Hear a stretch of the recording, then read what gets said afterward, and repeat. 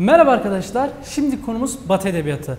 Batı Edebiyatı yine LYS Edebiyat konularından bir tanesidir. Edebi akımlar gibi ortalama olarak bir iki tane soru çıkan bir konudur. Tabii ki çok fazla soru çıkmasa da bilinmesi gereken bir konudur. Şimdi Batı Edebiyatı diye başlık atmamıza rağmen aslında anlatacağımız şey Batı Edebiyatı sanatçılarıdır. Yani Batı Edebiyatı diyoruz ama tutup da İngiliz Edebiyatı'nın veya İtalyan Edebiyatı'nın genel özellikleri veya değildir diye böyle bir konu anlatmıyoruz ki sınavda da çıkmıyor. Yani her ne kadar Batı Edebiyatı desek de aslında anlattığımız şey Batı Edebiyatı sanatçılarıdır. Şimdi bu konudaki sorular nasıl gelmektedir? Şimdi Türk Edebiyatı'ndaki sanatçılar sorulurken bir sanatçının atıyorum Cahit Sıtkı, Sar Cahit Sıtkı Tarancı'nın edebi kişiliği eserler olmadan da sorulabilir. Ama Batı Edebiyatı sanatçıları sorulurken soruların %99'unda yalnızca edebi kişiliği değil eserleriyle veriliyor. Yani çıkan sorular gene %99 oranında eserleriyle birlikte verilir. O yüzden Batı Edebiyatı sanatçılarının özellikle eserlerini bilmemiz gerekiyor ki Ede, Batı Edebiyatı ve edebi akımlardan işte 2-3 tane, 1-2 tane artık neyse ortalama olarak soru çıkmaktadır. O yüzden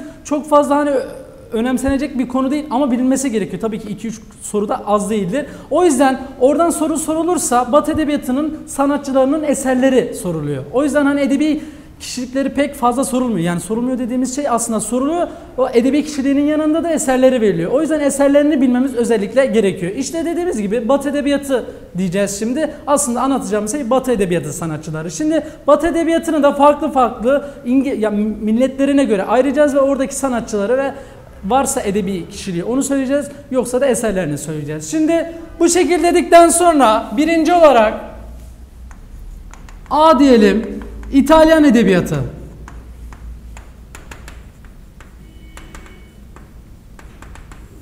Tekrar söylüyorum. Buradaki bugünkü konumuzla ilgili bilmesi gereken şey Batı edebiyat sanatçılarının eserlerinin özellikle bilinmesi gerekiyor. Ki edebi akımlarla birlikte düşünürseniz çoğu kitapta zaten Batı edebiyatını ve edebi akımları birlikte alır.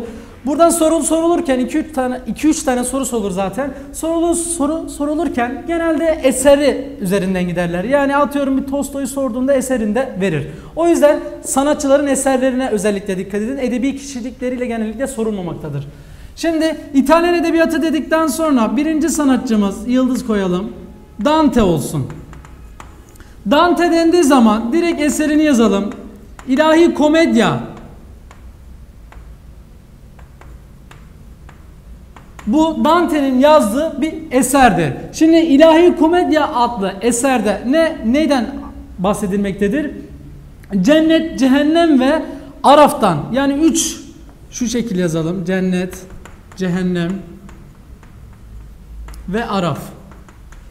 Bu eserde üç cennetten, cehennemden ve Araf'tan bahsedilir. Yani burada ruhum bir, bir nevi gezinimi ya da ruhun gezmesi anlatılır. Tabii ki bu bir eserdir. Bu şekilde bir şey vardır. Üç bölümden oluşur demeyelim de bu şekilde cennet ve cehennem cennet, cehennem ve Araf'tan bahseder diyelim.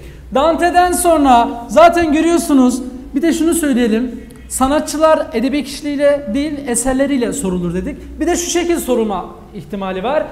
Hangi sanatçının hangi edebiyata ait olduğu. Atıyorum İtalyan sanatçılarını verir. Aşağıdakilerden hangisi İtalyan edebiyatı sanatçılarından değildir der. Bu şekilde de soru sorar.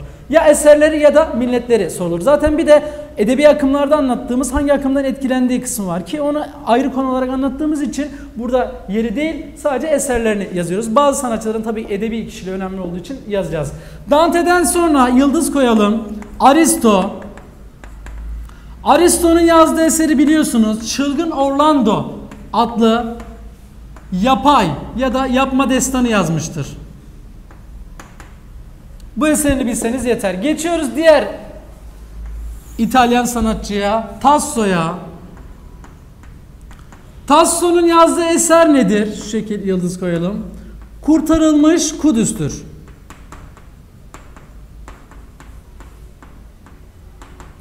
Yine yapma destandır bu da.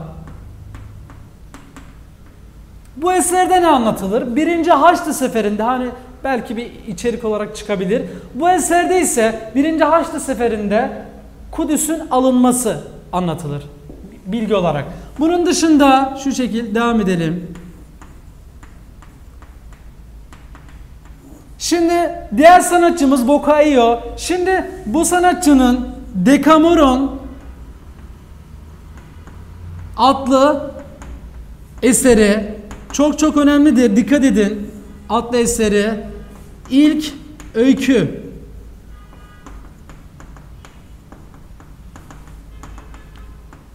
Örnekleri kabul edilir. Bu eser önemli. Tekrar söylüyorum. Decameron adlı eseri dünya edebiyatındaki ilk öykü olarak, ilk öykü kitabı olarak bilinir. O yüzden bilmemiz gerekiyor. Gördüğünüz gibi İtalyan edebiyatı dedik ve 4 sanatçı anlattık.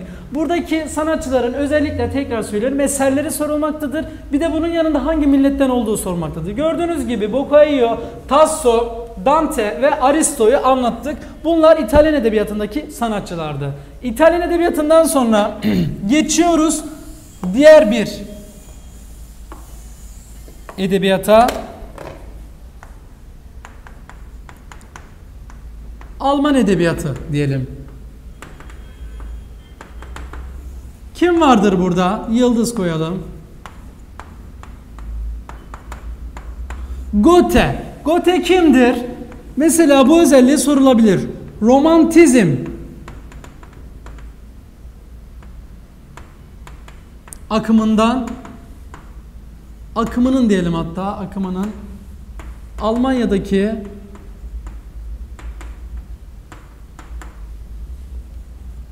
en büyük temsilcilerindendir.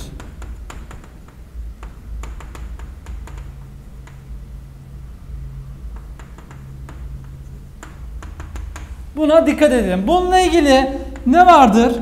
Oyunu vardır. Faust adlı. Bu eseri mesela sorulabilir. O yüzden türünde yazıyorum bakın. Eserin türü de sorulabildiği için. Faust adlı oyunu sorulabilir. Bunun dışında romanı vardır. Nedir? Genç şu şekilde yazalım.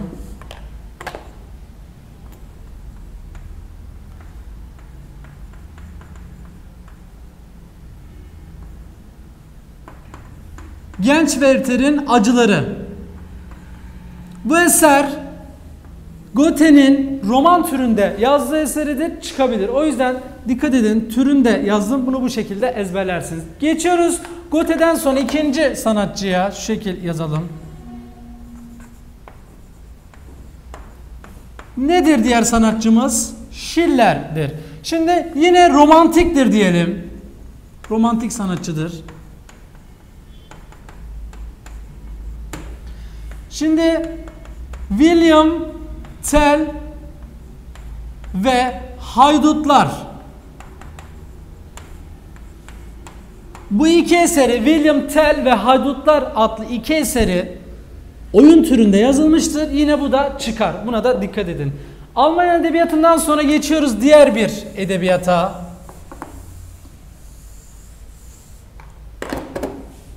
Şu şekilde yazalım. İspanyol edebiyatı.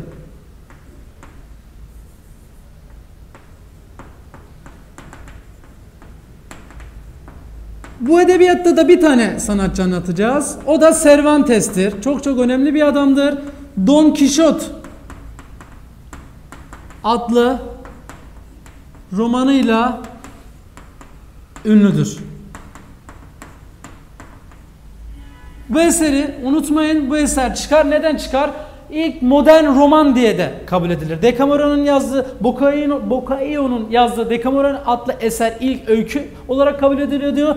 Don Quixote ise modern anlamda yazılmış ilk roman olarak kabul edilir. O yüzden bu eseri unutmayın. Don Quixote adlı eser bu önemlidir. Bu önemli eserdir. Şövalyenin macerası anlatılır bu eserde de. Şimdi İspanyol edebiyatından sonra geçiyoruz. İngiliz edebiyatına.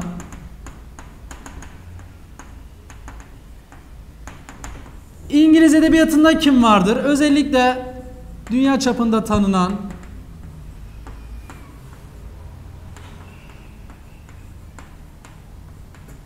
William Shakespeare. William Shakespeare kimdir? İşte bu edebi özellikleriyle de ön plana çıkan bir insandır. Hümanist bir sanatçıdır aslında ama romantik özellikler de gösterir. Romantizm akımın özelliklerini gösterir. Direkt etkilenmiştir demeyelim.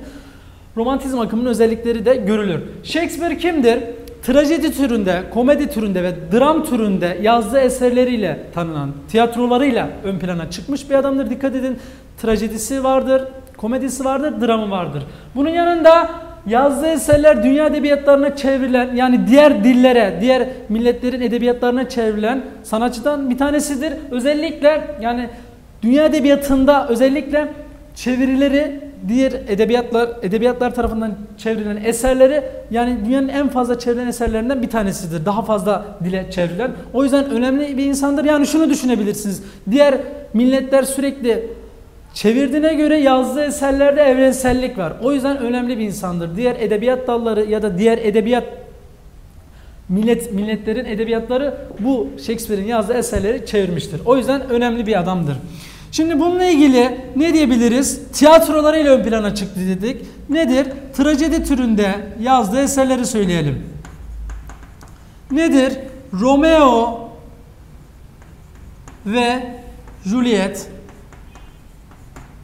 Nedir? Hamlet, bilindik eserler tabii ki. Otello, Kral Lear, Evet gördüğünüz bu eser zaten özellikle şu ikisi fazlasıyla bilindik bir eserdir. O yüzden dikkat edelim. Romeo ve Juliet, Hamlet en bilindik tiyatro eseri trajedi türünde yazdı. Bunun yanında Otello, Kral Lear ve Macbeth'de yazdığı trajedi türünde yazdığı diğer eserleri. Shakespeare'den sonra Shakespeare'in trajedi türünden sonra yazdığı eserlerini şu şekil komedi türünde yazdığı eserlerini söyleyelim. Komedi türünde yazdığı eserleri de şu şekil. Yanlışlar komedyası. Venedik taciri ve hırçın kız. Bu yazdığı eserleri de komedi türündedir. Bazı kaynaklar Venedik tacirini farklı dram türünde de alabilmektedir ama yani ÖSYM bu, bununla pek uğraşmamaktadır. Bu tarz bir soru sormamaktadır. Hani ÖSYM soru sorarken zaten herkesin hem fikir olduğu konularda sorar. Yani tereddütlü bir şeyse sormaz zaten. Net olan bilgiyi sorar ÖSYM. O yüzden görürseniz şaşırmayın. Şimdi komediden sonra Shakespeare'in yazdığı komedi türünden sonra geçiyoruz diğer bir sanatçıya. Daniel Defoe. Daniel Defoe kimdir? Realist bir sanatçıdır.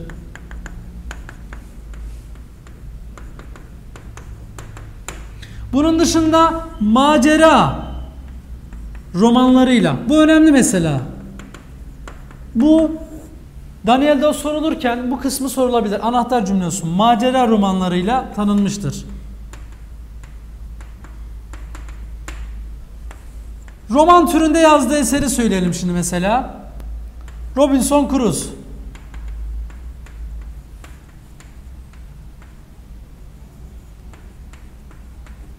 Robinson Crusoe Daniel Defoe'un yazdığı bir romandır ve çıkar. O yüzden dikkat edin.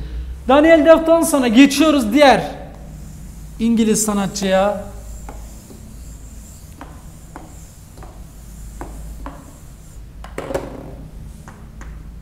Charles Dickens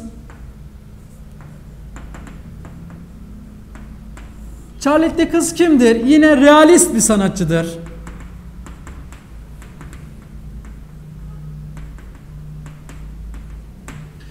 Eserlerini söyleyecek olursak roman türünde yazdığı eseri, eserleri diyelim daha doğrusu.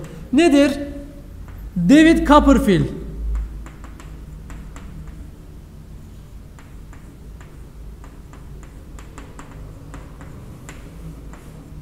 Oliver Twist İki şehrin hikayesi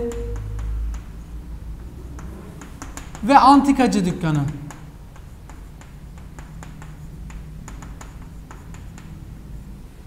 Şimdi bu eserleri roman türünde yazdığı eserleridir ve özellikle şu ikisi çıkar. Tabii ki bunun dışında da sanatçıları yazarken özellikle yani bu konu çok fazla sorunu çıkmadığı bir konu ve özellikle fazla öne daha fazla ön plana çıkan sanatçılar ve eserleri varken yani böyle bazı sanatçıların bütün eserlerini de yazmıyoruz. Bilinen eserler çıkarsa o da yani çıkma ihtimali düşük de çıkarsa da bu eserler çıkıyor. Ha Her ihtimale karşı da yine başka eserlerinde yazıyoruz tabii ki. Bunlara da dikkat edin. Yani yazdıklarımızın çerçevesinde giderseniz kolay kolay hani eksik bir şey kalmaz. Özellikle çıkan. Zaten konuyu anlatırken özellikle ÖSYM'nin hazırladığı soru tarzlarına yönelik hazırlıyoruz. Ha bunun yanında deneme çözerken ya da kitaplarda soru çözerken de yardımcı olsun diye ekstra mesela şu ÖSYM sorduğu zaman sorarsa şu iki eser üzerinden gider. Ha deneme falan çözdüğünüzde veya kitap çözdüğünüzde şu eserler de çıkabilir. Tabii ki şunun, şu eserleri daha fazla ön plana çıktığı için ÖSYM bunu tercih eder sorduğunda.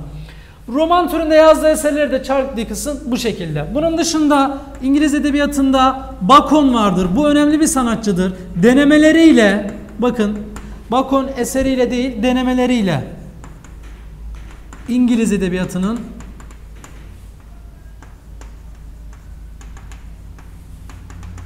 önemlidir. Yani şu şekil bir şey diyebiliriz. Fransız edebiyatında deneme dendiği zaman zaten Montaigne gelir. O da Fransız edebiyatındadır. İşte İngiliz edebiyatında da deneme dendiği zaman Bacon gelir. O yüzden buna dikkat edin. Bunun dışında kim vardır? Lord Byron vardır. Lord Byron kimdir? Romantik İngiliz sanatçısının bir tanesidir. O yüzden bu bilgi yeter. Bunun dışında ne diyebiliriz? Şu şekil silelim tahtamızı.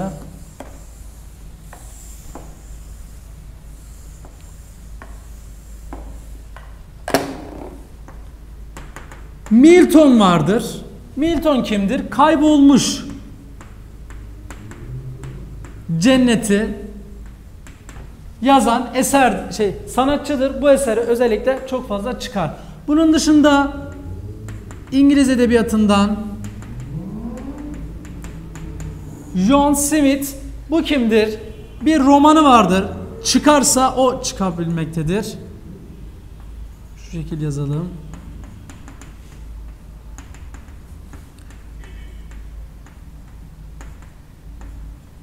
Gulliver'in Seyahatleri adlı romanı çıkmaktadır. Buna da dikkat edelim. Belki adını duymamışsınızdır ama soru çözerken karşınıza çıkabilir. Ola ki ÖSYM illa zor soru sormak isterse, düşürmek isterse de bu sanatçıyı kullanabilir. Eseri ve kişi önemlidir çünkü. Geçiyoruz İngiliz edebiyatından sonra başka edebiyata.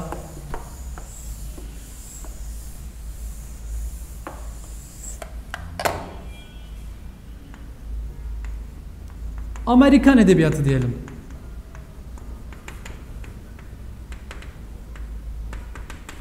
Amerikan edebiyatı da önemlidir. Başlayalım Steinbeck'ten.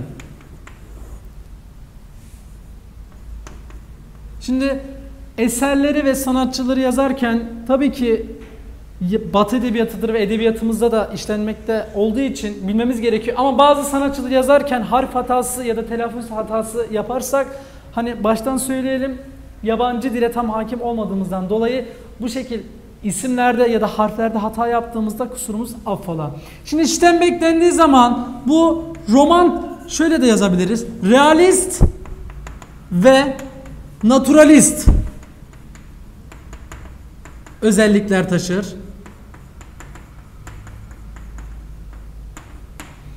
Bunun dışında Roman türünde yazdığı eserleri fazlasıyla bilinen eserleri nedir? Fareler ve insanlar. Bu eseri önemlidir ve gazap üzümleri. Bu iki eseri kesinlikle çıkmaktadır. Kesinlikle bilmeniz, bilmeniz gerekiyor. Bunun dışında kim vardır? Hemingway vardır. Kimdir bu? Yine romanlarıyla tanınır. Nedir? Silahlara veda. Çanlar kimin için çalıyor?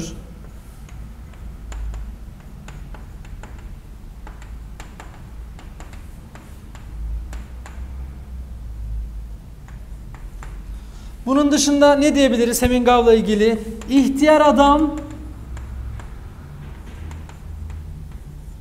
ve deniz. Yani bu üç eserinden özellikle tabii ki ilk ikisi önemli. ÖSYM sorarken sorarsa eğer özellikle bu eserleri kullanır. Tabii ki İhtiyar Adam ve Deniz adlı eseri de önemlidir. daha çok kaynaklar sormayı tercih etmektedir. Tabii ÖSYM'de tekrar so- söyleyelim sorabilir. Hemingway'dan sonra geçiyoruz diğer tarafa.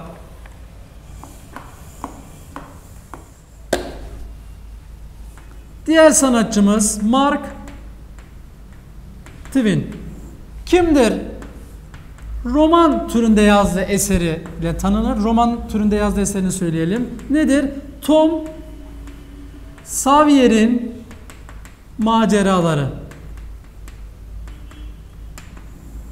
Bu eseri çıkabilir. O yüzden bilmemiz gerekiyor. Amerikan Edebiyatı ile ilgili olarak da bunları bilmemiz yeterli. Şimdi geçiyoruz diğer bir milletin edebiyatına.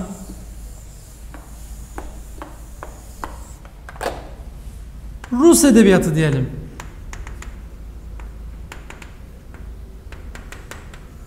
Nedir? Gorki vardır mesela. Gorki kimdir? Realist bir sanatçıdır. Şöyle yazalım.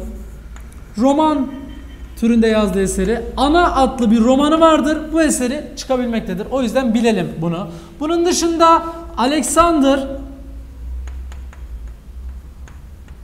Pushkin. Bu edebi akımlarda da anlattık. Bu sanatçı romantik özellikler gösterir.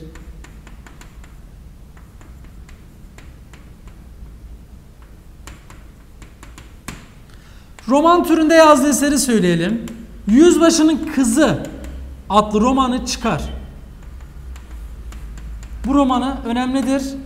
Buna dikkat edelim. Bunun dışında Maça Kızı diye bir eseri var. Bazı kaynaklar onu roman, bazı kaynakları da hikaye türünde yazdığını söylüyor ama o pek çıkmadığı için onu yazmıyoruz. Yüzbaşının kızı çıkar ama Alexander Pushkin dediği zaman romantik olduğunu bilmemiz gerekiyor. Bunun yanında Yüzbaşının Kızı adlı romanın yazarının yazarının olduğu bilmemiz gerekiyor. Geçiyoruz diğer tarafa. Diğer sanatçımız Gogol olsun. Gogol yazdığı roman türünde diyelim şöyle. Yazdığı eseriyle önemlidir. Nedir roman türünde yazdığı eseri? Ölü Canlar. Şuraya yazalım. Ölü Canlar. Roman türünde yazdığı eseridir. Bunun yanında oyun türünde yazdığı Google dediğimiz zaman Ölü Canlar adlı eseri var. Bir de Müfettiş. Evet. Müfettiş de oyun türünde yazdığı eseridir. Bunun dışında ne diyebiliriz? Tolstoy diyelim. Diğer sanatçımız. Tolstoy. Tolstoy kimdir? Dünyanın bakın Tolstoy dendiği zaman edebi kişiliği de sorulabilir. Yani sorulma ihtimali düşüktür ama eserler genellikle birlikte verilir. Ama illa sorulacaksa sadece edebi kişiliğiyle ilgili. Mesela Tolstoy sadece edebi kişiliğiyle ilgili olarak sorulabilir. Dünyanın en büyük sanatçılarından hala da Tolstoy okunmaktadır biliyorsunuz.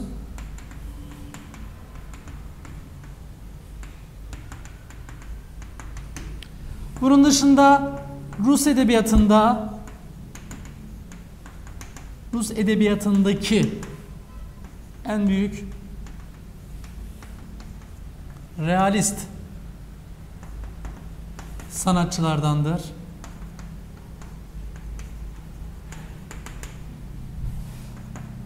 Onun romanlarında diyelim toplumun yaşadığı siyasi, sosyal, ekonomik ve kültürel birçok özelliği görmek mümkündür.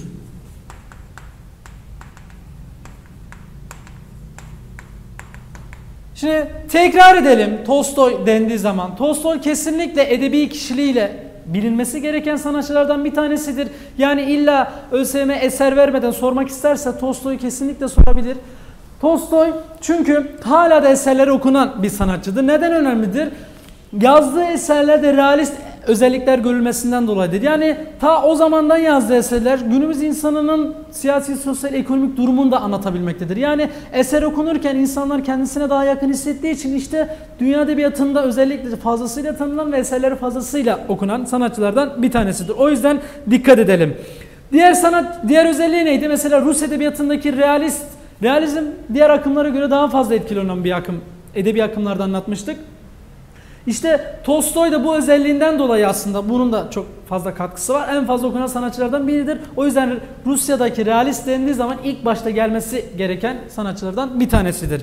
Bunun dışında ne dedik? Onun romanlarında toplumun yaşadığı dedik, siyasi, sosyal, ekonomik ve birçok özellik görülebilir dedik. Neden dolayı bu şekilde dedik? Çünkü realist özelliğiyle alakalı. Yani realizm ne var? Realizmde ne vardı? Yazıldığı dönemin ya da yazıldığı dönemin diyorum anlatıldığı eser, anlatıldığı eserin o toplumda neyse onu yansıtmasından dolayıydı. Yani realizmde görülenin aynen aktarılmasından dolayı Tolstoy da bu özelliği kullanmıştır ve toplumda ne gördüyse o zamanki yaşanan toplumda ne gördüyse onu anlatmıştır. O yüzden buna dikkat edelim. Tolstoy bu şekil edebi kişiliğiyle sorulur. Bunun yanında eserleri diyebiliriz. Edebi kişiliğinin kesinlikle bilinmesi gerekiyor. Şimdi roman türünde yazdığı eserleri Savaş ve Barış, Diriliş, Hacı Murat, Ivan İlyiç'in ölümü. Bu eserler tekrar söylüyorum Bu eserler çıkar. Özellikle Savaş ve Barış en fazla çıkan eseridir. Buna diğerlerine göre biraz daha dikkat edin. Ama Tolstoy'un genel olarak romanları başarılı olduğu için yani şunların da sorulma ihtimali vardır. Sanatçı büyük olduğu için edebi kişilik olarak da fazlasıyla tutulan bir insan olduğu için diğer eserleri de sorulabilir. O yüzden dikkat edin bu eserlere. Roman türünde yazdı. Tolstoy'un roman türünde yazdığı eserlerden sonra geçiyoruz diğer bir sanatçıya. Anton Çehov'a. Çehov kimdir? Durum öyküsünün, bu kesinlikle bilinmesi gereken bir özellik. Durum öyküsünün, öykücülüğünün diyelim daha doğrusu, kurucusudur. Bunun kesinlikle bilinmesi gerekiyor. Bunun dışında oyun türünde yazdığı eserleriyle daha fazla çıkan bir sanatçıdır. Nedir? Vanya Dayı, Vişne Bahçesi. Bu oyun türünde yazdığı eserleriyle daha fazla sorulmaktadır Çehov. Geçiyoruz diğer tarafa. Diğer bir sanatçımızı yazalım.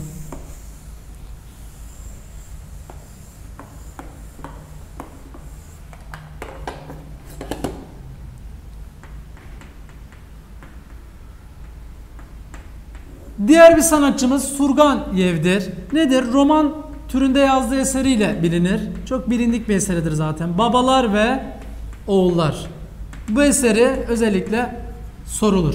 Bunun dışında diyebiliriz ki Dostoyevski Dostoyevski kimdir? Yine realist sanatçılardandır. Bu özelliği önemli olduğu için yazıyorum. Sanatçılardandır. Toplumsal psikolojiye önem verir. Bu bu özellik de önemlidir mesela. Toplumdaki eserlerini anlatırken o toplumda yaşayan insanların psikolojisine de yer veren bir sanatçıdır. Bunun dışında eserleri diyelim. Nedir? Suç ve ceza. Karamazov kardeşler Kumarbaz ve Budala. Bu eserler roman türünde yazdığı eserleridir. Şu şekil yapalım. Roman türünde yazdığı eserleridir ve kesinlikle çıkar. Özellikle Suç ve Ceza adlı eseri. Şimdi Dostoyevski de aslında Tolstoy tarzı bir sanatçıdır. Yani Tolstoy nasıl ki edebi kişiliğiyle sorulabilmektedir ki aynı şekilde Dostoyevski'yi de mesela hiç eser vermeden illa sormak isterse tabii ki diyoruz genelde verilir. O şekilde sormak isterse yine Dostoyevski Tolstoy tarzı bir özellik göstermektedir ki yani e, Tolstoy'dan sonra Dostoyevski, Dostoyevski aslında Rus edebiyatının en büyük realist sanatçısı olabilir. Yani Tolstoy'dan sonra tabii ki. O yüzden edebi kişiliğinin bilinmesi gerekiyor. Özellikle mesela toplumsal psikolojiye önem verdiğine dikkat edelim. Bunun dışında ne diyebiliriz? Dostoyevski ile bunun Dostoyevski ile ilgili olarak bilmesi gerekenler bu kadar. Bunun dışında Rus edebiyatı ile ilgili Maxim Gorki vardır. Yine Rus edebiyatında. Bu sanatçının da Rus edebiyatında olduğunu bilseniz yeterli. Şimdi şu şekilde toparlayabiliriz. Rus edebiyatı sorulmak istendiğinde Tolstoy sorulur ve Dostoyevski özellikle yani daha fazla sorulma ihtimali olan. Ondan sonra diğer sanatçılar da tabii ki eserleriyle birlikte çıkabilmektedir. Bu şekilde Rus edebiyatı da bu şekildeydi. Şimdi geçiyoruz. Batı edebiyatının en önemli kısmına Fransız edebiyatına.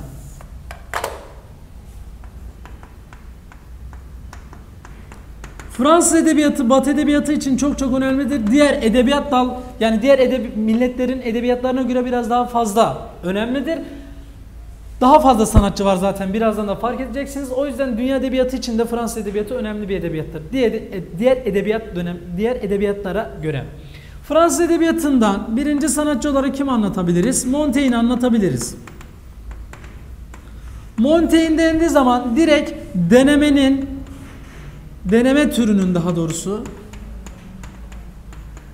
kurucusudur. Bu özellik kesinlikle bilinmesi gereken bir özellik. Montaigne dendiği zaman direkt denemeler akla gelir. Bunun dışında ne diyebiliriz? Racing önemlidir. Racing kimdir? Klasik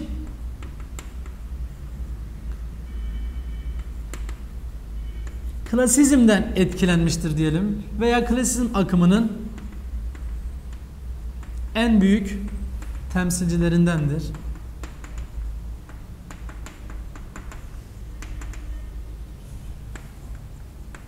Bunun dışında trajedileriyle diyelim, trajedileriyle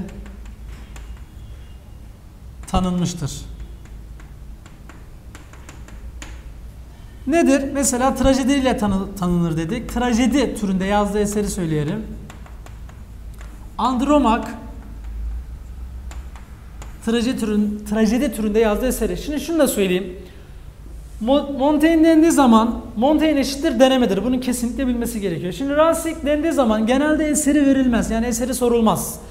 Rasik nerede sorulur? Edebi akımlarda klasizmin en büyük temsilcisi olduğu sorulur. Yani klasizmin temsilcileri arasında değildir der. Aşağıdakilerden hangisi işte klasizm sanatçılarından değildir ya da klasizmden etkilenen sanatçılardan biri değildir der. Orada sorulur Rasik genellikle. Ama yine de bir ihtimale göre sorulabilir diye şu trajedi türünde yazdığı eseri söyledik. Geçiyoruz diğer tarafa.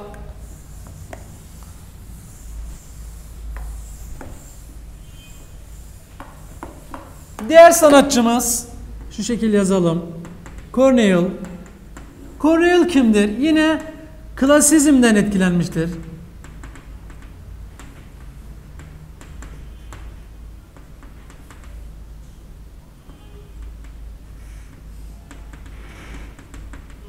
Bunun dışında trajedileriyle yine traji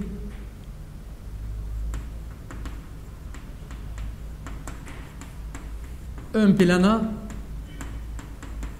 çıkmıştır.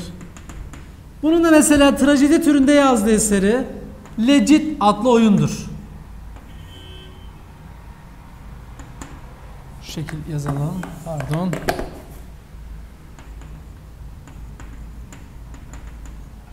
Legit. Bu oyunu da yine aynı şekilde Racing gibi pek fazla çıkma ihtimali olan yani bu eseriyle ön plana çıkma ihtimali olmayan, pek az olan bir sanatçıdır. Yine de Legit adlı oyunu önemlidir. Bunu bilelim. Bunun dışında ne diyebiliriz? Stendhal. Stendhal kimdir? Fransız edebiyatının realist sanatçılarından bir tanesidir. Yazalım. Fransız edebiyatının realist sanatçılarındandır.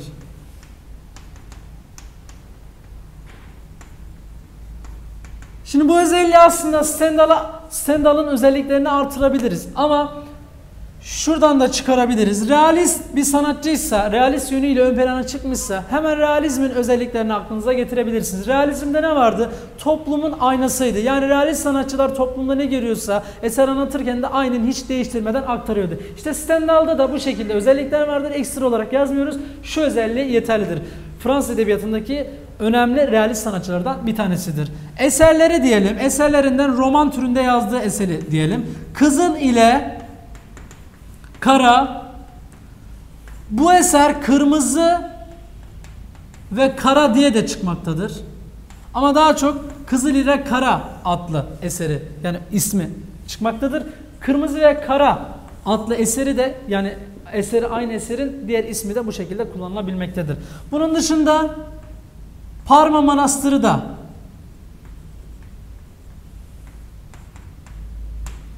Bu eser de yine roman türünde yazdığı eseri çıkmaktadır. Özellikle şu isim kullanılmaktadır. Kızıl ile Kara Parma Manastırı. Bu şekilde kırmızı ve siyah, bazı kaynaklar kırmızı ve siyah diye de hatta söylemektedir ama bundan daha çok Kızıl ile Kara ismi çıkmaktadır. Bir de bunun yanında Parma Manastırı adlı eseri önemlidir. Stendhal'ın bu özelliklerinden sonra geçelim diğer bir sanatçımıza.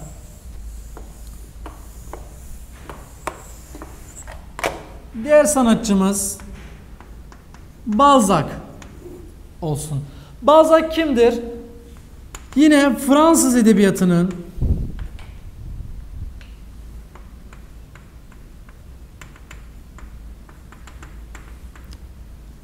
önemli realist sanatçılarındandır.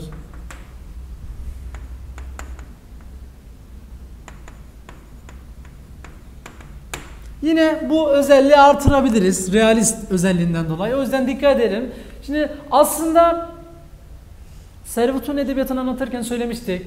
Mavi ve Siyah'ı yazan Halit Ziya nasıl ki Türk Edebiyatı'nın romanı olarak bilinir. Balzac da dünya edebiyatındaki romanın babası olarak bilinir. Yani dünya edebiyatında roman dendiği zaman ilk başlarda ismi geçen sanatçılardan bir tanesidir. Romanın babası olarak da tanımlayabilirsiniz. Tabii ki direkt en önemli kişidir demiyoruz ama en önemli kişilerden bir tanesidir. O yüzden dünya edebiyatında roman dendiği zaman kesinlikle Balzac'ın akla gelmesi gerekiyor.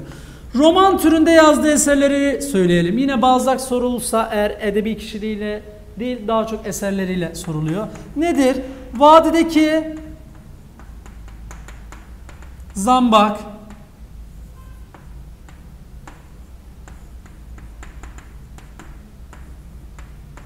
Gorgiot Baba. Bu iki eseri özellikle sorulmaktadır. Vadideki Zambak adlı eseri daha fazla sorulmaktadır. Bir diğer eseri de Gorgiot Baba. Bunun dışında da eseri vardır ama çıkmadığı için pek yazmıyoruz. Şimdi bunun yanında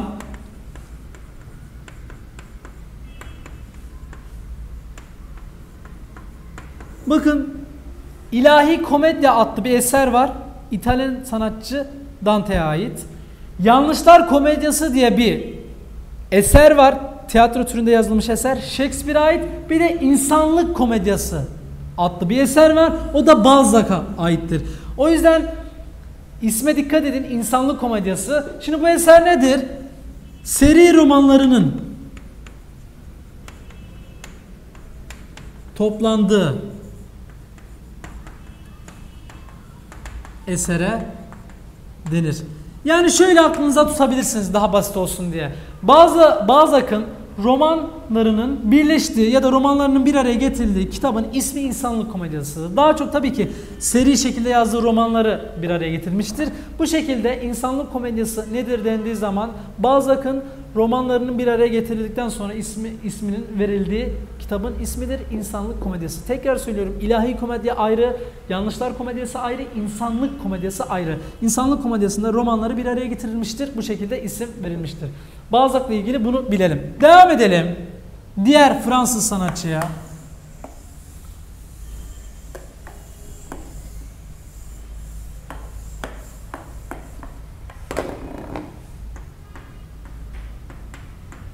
La Bruyere çok fazla önemli bir sanatçı değildir ama Karakterler adlı eseri çıkabilmektedir. O yüzden bunu bilmemiz gerekiyor.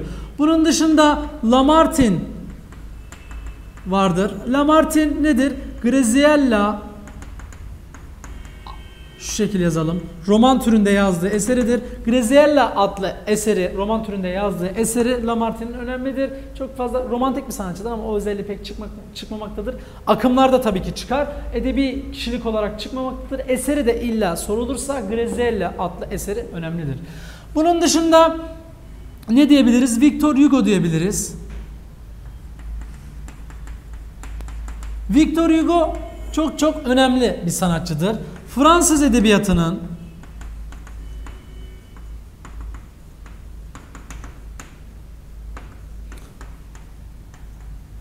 hatta en önemli diyelim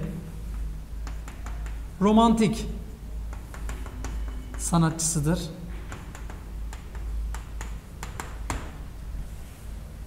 Şimdi şu şekilde söyleyebiliriz. Nasıl ki az önce Tolstoy, Rus edebiyatını anlatırken Tolstoy Rus edebiyatı için önemli dedik. Şimdi Hugo da Fransız edebiyatında romantizmin ya da romantik eserlerin önemli şahsıdır.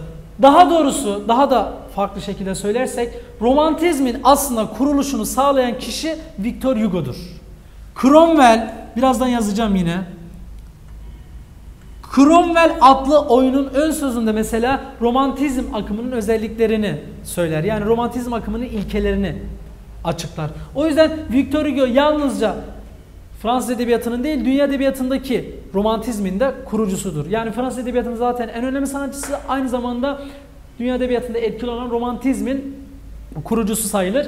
Bu şu eserin Cromwell adlı dram dramının oyun türünde yazdığı, dram türünde yazdığı eserinin ön sözünde romantizmin özelliklerini söyler. O yüzden buna dikkat edelim. Victor Hugo romantizmin kurucusu aynı zamanda yani bunu şu şekil soru olarak sorabilir. Victor Hugo aşağıdaki eserlerin hangisinin aşağıdaki eserlerinin hangisinin ön sözünde romantizmin ilkelerini benimsemiştir diyebilir. O yüzden Cromwell dediği zaman Cromwell'de romantizm akımının özelliklerini söyler. Daha doğrusu romantizmin ilkelerini belirler ve bu akımın dünya edebiyatında da etkili olmasını sağlar. O yüzden dikkat edelim. Şimdi Victor Hugo'dan sonra geçiyoruz diğer sanatçıya.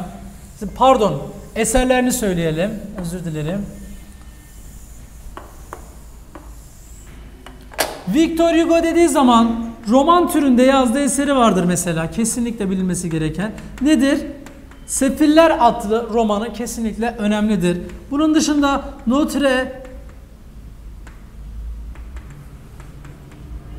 şekil yazalım.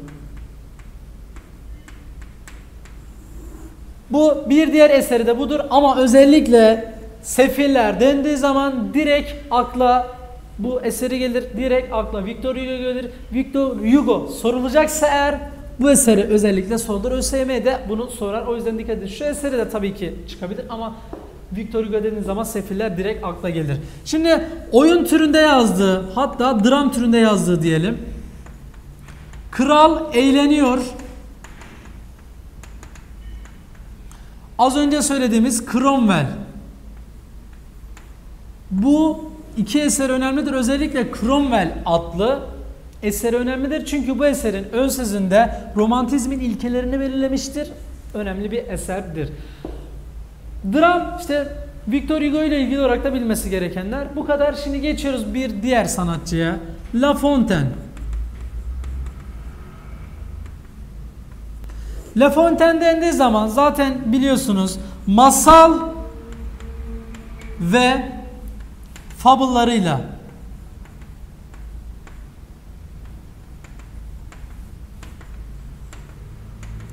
Montaigne dendiği zaman direkt aklımıza nasıl ki deneme geliyor. La Fontaine dendiği zaman direkt aklımıza masal ve fabullar gelmesi gerekiyor. Dikkat edin masal ve fabul dendiği zaman direkt aklımıza La Fontaine gelir. Bu türde masal ve fabullarıyla tanınmıştır çünkü.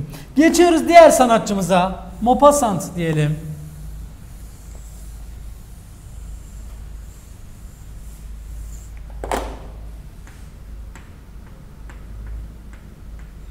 Maupassant dendiği zaman Klasiz, klasizm diyorum. Klasik öykünün olay öyküsü diyelim.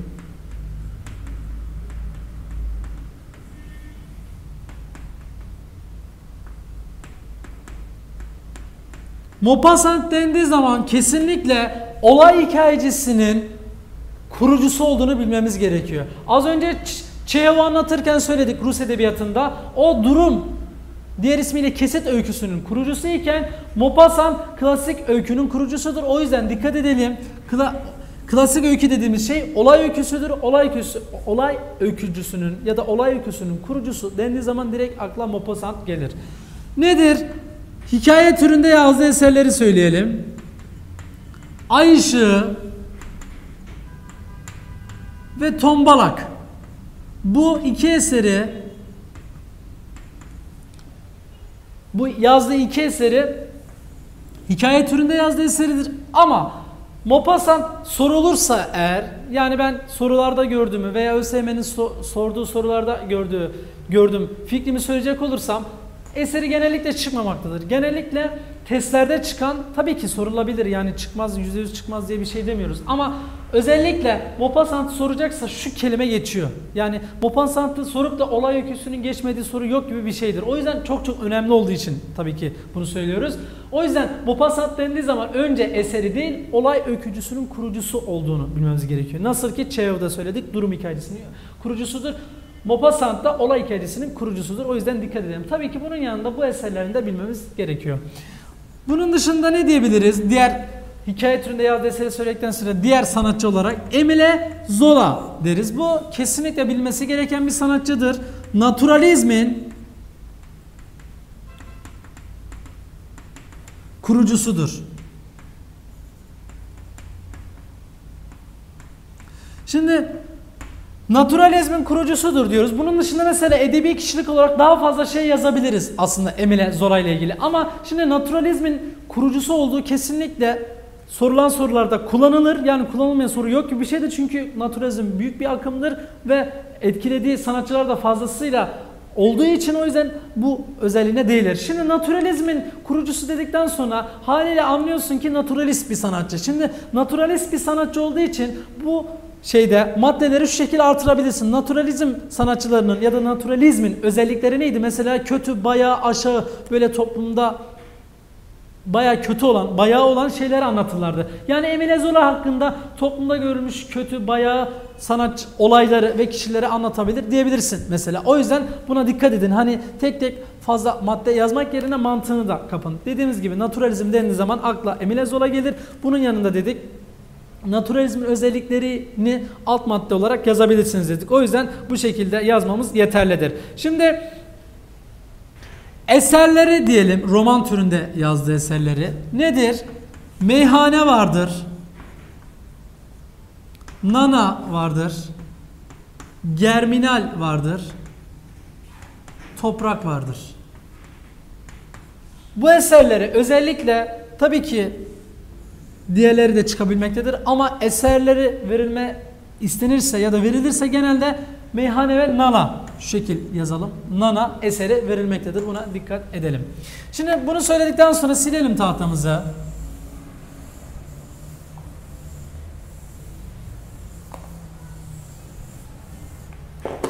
Diğer sanatçımız Jean-Jacques Rousseau.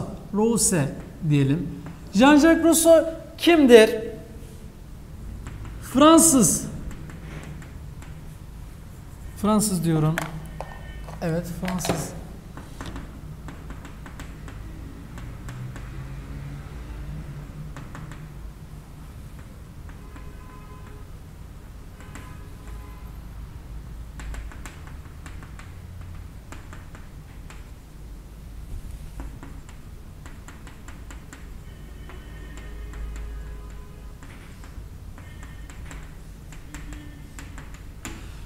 Fransız ihtilalinin çıkmasında demeyelim de aslında hani Fransız ihtilalinin oluşmasına zemin hazırlayan sanatçılardan bir tanesi de odur. Hani direkt Fransız ihtilalini yani direkt Fransız ihtilalini hazırlamıştır demek yerine Frans- Fransız ihtilalinin oluşmasında etkili olan ya da Fransız ihtilali biliyorsunuz siyasi, sosyal birçok şekilde Fransız edebiyatını etkileyen ve bunun yanında dünya edebiyatını etkileyen bir akımdı. O yüzden bu akımın oluşmasında da önemli olan sanatçılardan bir tanesidir. O yüzden buna dikkat edelim. Şimdi bunun dışında bu bilginin dışında Emile ve Toplum Sözleşmesi adlı bunun dışında da eserleri vardır. Yani sorulabilir ihtimaline göre Emile ve Toplum Sözleşmesi adlı eserlerinde yine bilelim. Bunun dışında da eseri vardır. Tekrar söylüyorum ama çıkmayacağı için ya da çıkmadığı için anlatmıyoruz. Bunun dışında ne diyebiliriz? Jean-Jacques Rousseau'yu anlattıktan sonra şunu da ekleyebiliriz buraya mesela. Romantizm akımından etkilenmiştir. Bu özelliği pek Batı edebiyat sanatçıları testlerini açtığınızda pek sorulmaz. Ama edebi akımları açtığınızda Jean-Jacques Rousseau kesinlikle sorulur. Romantik bir sanatçıdır. Bunun dışında ne diyebiliriz? Boileau kimdir? Klasizmin kurulmasında rol oynamıştır. Bu özelliğini bilsek yeter. Bunun dışında ne diyebiliriz? Başka sanatçı Baudelaire diyebiliriz. Baudelaire kimdir? Sembolizmin en önemli sanatçılarındandır.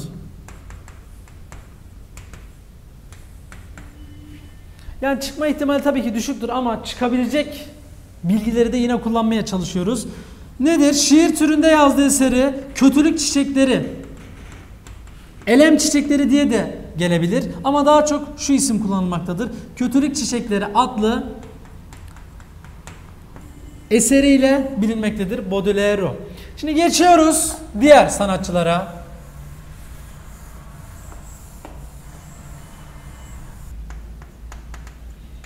Diğer sanatçımız Moller olsun. Moller kesinlikle dünya edebiyatında tiyatrolarıyla ön plana çıkmış. Komedi türünde yazdığı tiyatroyla ön plana çıkmış ve fazlasıyla etkili olan bir sanatçıdır. Komedi türünde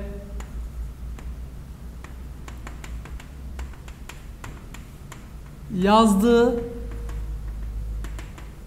eserleriyle ön plana çıkmıştır. Evet. Nedir bu komedi türünde yazdığı? Tiyatro tabii ki. Tiyatrodan bahsediyoruz. Tiyatro türünde yazdığı eseri. Nedir? Şu şekil yazalım.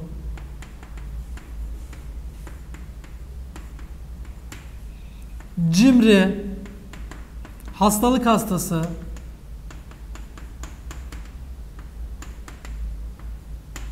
kibarlık budalası,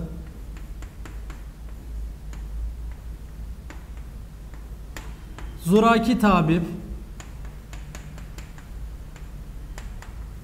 Şimdi özellikle Moller dendiği zaman komedi türünde tiyatrosuyla ön plana çıkmıştı dedik. Komedi türünde yani tiyatroda kendi arasında hatırlarsanız trajedi, komedi ve dram diye farklı gruba ayrılıyordu. Özellikle Cimri adlı eseriyle önemlidir. Bunun dışında Tartüffe diyebiliriz.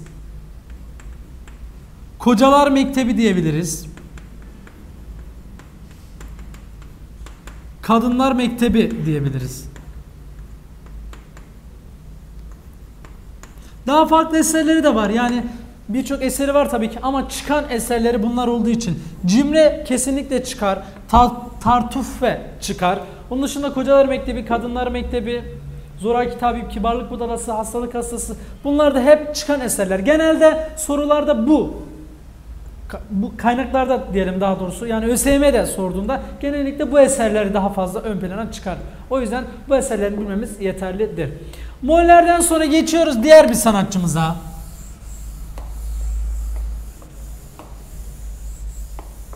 Molleri aslında edebi kişilik olarak daha fazla artırabiliriz ama Moller sorulduğunda eserleriyle sorulduğu için fazla hani mümkün olduğunca edebiyat biliyorsunuz çok fazla alanı geniş olan bir şey. Yani birçok sanatçı var, birçok akım var, birçok özellik var. Hepsini aklınızda tutmanız zor olduğu için işi biraz daha basitleştirmeye çalışıyoruz. Yani Moller'i istesek daha fazla da edebi kişilik olarak da söyleyebiliriz. Ama sorularda genellikle kullanılmıyor. Kullanıldığında eseri direkt eserleriyle ön plana çıktığı için eserleri kullanılıyor. O yüzden Moller dediğiniz zaman eserleriyle birlikte işi götürebilirsiniz yani. Şimdi diğer sanatçımız kimdir? Flaubert'tir. Realizmin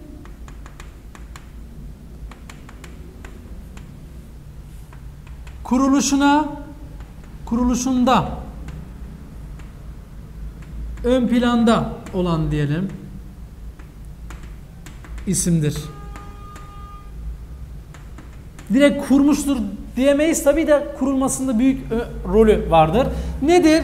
Madame Bovary adlı eseriyle romantizmin kurallarını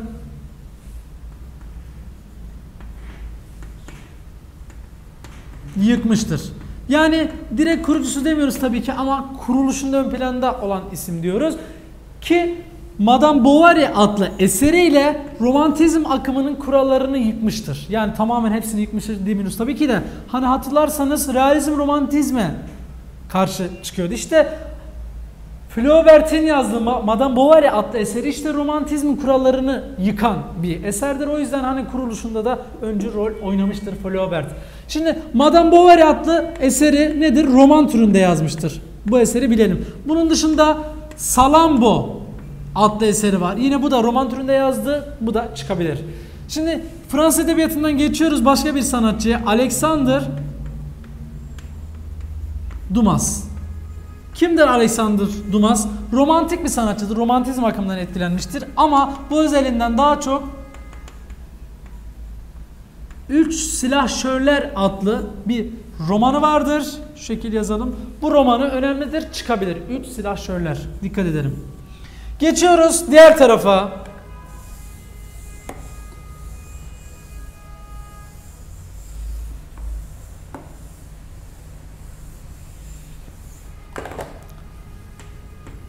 Albert Camus.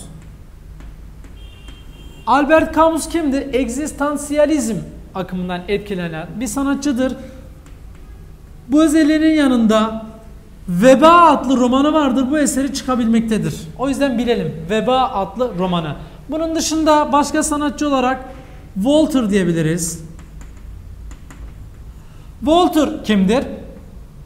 Romantik sanatçıdır diyelim.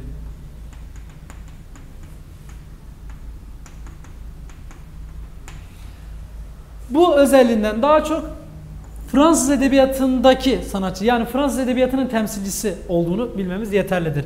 Bunun dışında Rimbaud, Verlaine,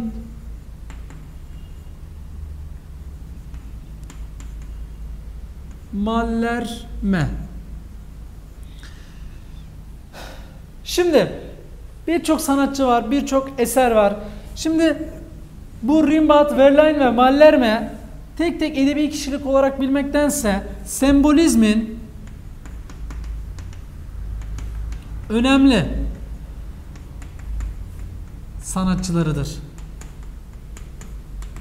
Şimdi bakın dikkat edeceğiniz nokta ne? Rimbaud'u kitapları açtığınızda da Rimbaud, Verlaine ya da Mallarme farklı şekilde anlatılmaktadır. Şimdi özellikleri de zaten birbirine çok benze benzemektedir ve birbirinden çok fazla da ayrılmamaktadır. Şimdi o kadar önemli sanatçı varken bunların sorulma ihtimali biraz daha düşüktür. Ama şunu da bilmemiz gerekir. Rimbaud, Verlaine ve Mallarme dünya edebiyatında etkili olan o sembolizmin önemli sanatçılarındandır. O yüzden Hani bunu üçünü birlikte ezberlerseniz daha mantıklı olur. Ha bunun yanında Verlaine'nin orta sırada olan Verlaine'nin şiir sanatı adlı bir eseri var. Mesela o eseri önemli. Şimdi eserlere de çok fazla girmek istemiyorum. Bu kadar şeyi aklınızda tutmanız zor olduğu için.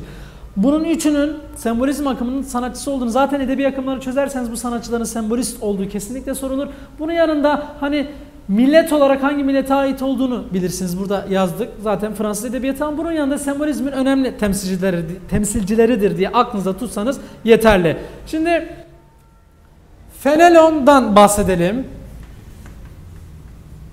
Fenelon'u biliyorsunuz Telemek adlı romanı yazmıştır. Hatta Ahmet Vefik Paşa da bunu çevirmiştir. O eseriyle bilinir. Bunun dışında Jules Verne adlı bir sanatçı var. Jules Verne kimdir? Bilim kurgu edebiyatının kurucusu kabul edilir. Yani bilim kurgu tarzında yazdığı romanlarıyla tanınır. Jules Verne şu şekil yazalım. Bunun bu özelliğini bilmemiz gerekiyor. Bilim kurgu romanları, bilim kurgu eserleri dediği zaman Jules, Jules Verne akla gelir. Mesela 80 günde devre alem. Bu yazdığı eser mesela önemli bir eserdir, romandır. Şekil 80. Bu yazdığı eseri roman türünde yazmıştır. Jules Verne dendiği zaman bilim kurgu edebiyatının, bilim kurgu romanlarının kurucusu olduğu bilmek bilinmesi gerekiyor. Bunun yanında 80 günde Devre Alem adlı bir romanı var. Bunun bilmesi gerekiyor. Şimdi evet dediğimiz gibi birçok sanatçıdan bahsettik. Birçok eserlerini söyledik.